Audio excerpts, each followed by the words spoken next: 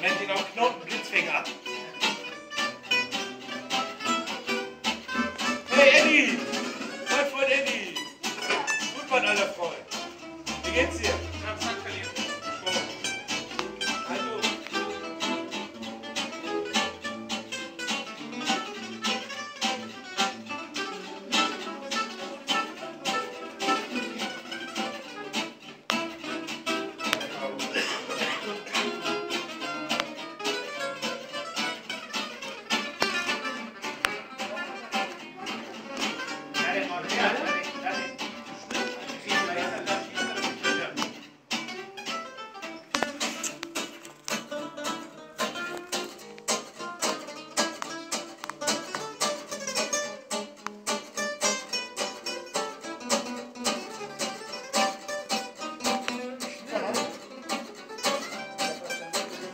Let me